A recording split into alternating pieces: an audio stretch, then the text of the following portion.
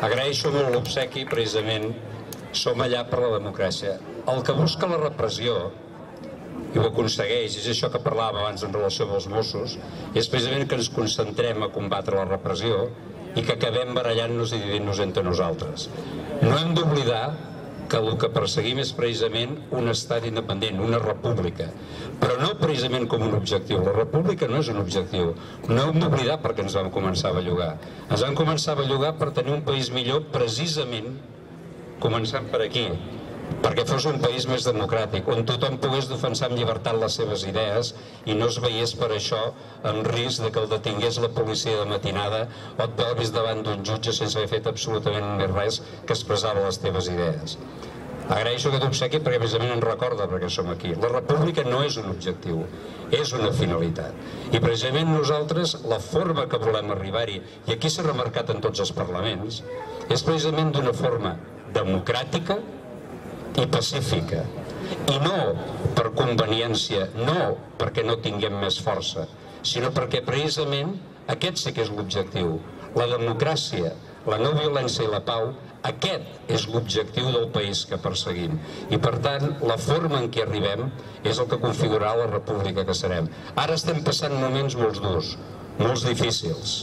Abans he dit allò, però també pensem que el seu dia la immensa majoria de mestres i professors d'aquest país van posar al costat del poble i s'han obert les escoles. Hem d'estar efectivament units i precisament s'està units des del poble i des de la base. El 1 d'octubre el van fer primer els alcaldes aguantant les amenaces de la Fiscalia i després el poble, els que van portar les urnes, els que van obrir els col·legis, aquí en veig uns quants, que eren encarregats de col·legis electorals, i després tots i cadascun que es van posar a les meses i tots i cadascun que van anar a votar. I d'aquests que van anar a votar, n'hi van haver que van anar a votar que no. Però aquests també són poble a Catalunya. Aquests també pensen en realitat com nosaltres i volen la mateixa república que nosaltres, que és un lloc on es puguin defensar en llibertat el projecte de cadascú. La diferència no està entre voler o no voler la independència, sinó entre permetre la llibertat al poble de triar el seu destí. I aquesta és la lluita que tenim. Estem passant moments molt durs. Aquest matí hem vist marxar amb una furgona a la presidenta Forcadell, que simplement va permetre el debat parlamentari, va permetre que tothom al Parlament expressés les seves idees. Jo he pogut revisar les actes dels dies que es van aprovar la llei del referèndum i la llei de transitorietat van parlar moltíssim més temps els de Ciudadanos, els del PP i els socialistes que no pas els de Junts pel Sí o la CUP. Van tenir molt més la paraula. I això és el que va defensar el president de Forcadell, que defensem nosaltres. Estem passant moments molt durs, sí, però ah, això no ens ha de fer perdre la vista que precisament la força que fa servir l'Estat estem aconseguint revertir-la en contra seu.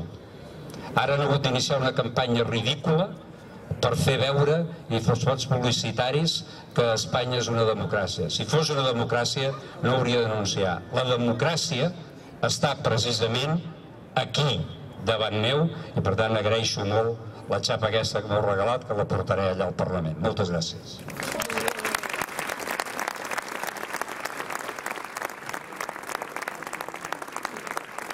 A veure, algú vol dir alguna cosa més? Preguntes? No. Però si algú vol fer un comentari. Si no perdem la dignitat, el poble de Catalunya no serà mai apartat. I guanyarem.